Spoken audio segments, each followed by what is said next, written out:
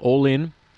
So boxes eight and two are the two we're looking for. They're ready, racing. Dakota Far began okay. There is speed. Sally's Girl wide out now, getting busy. Yarramundi Abbey wider still. Demon Premier, but Dakota Far was able to kick up and lead. Demon Premier second, and all of a sudden there's a space to the rest. In third was Cool Roller about six lengths away. Sally's Girl rails underneath of it. Then Yarramundi Abbey, Go Yarra Go, and Fine Delicacy last. The race in two. Dakota Far trying to fend off Demon Premier, who's now getting the the better of Dakota Far. Late Sally's Girl, but Demon Premier wins.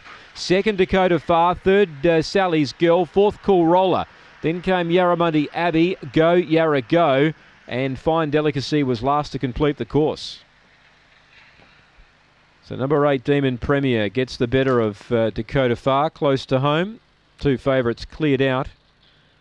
Number eight will be the winner. Two second, and Sally's Girl, as she normally does, finds the line well. 8, 2, 4 and 6 is fourth. Cool Roller. 8, 2, 4 and 6.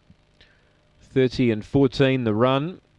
Uh, 447 early, 13 11 on the way home.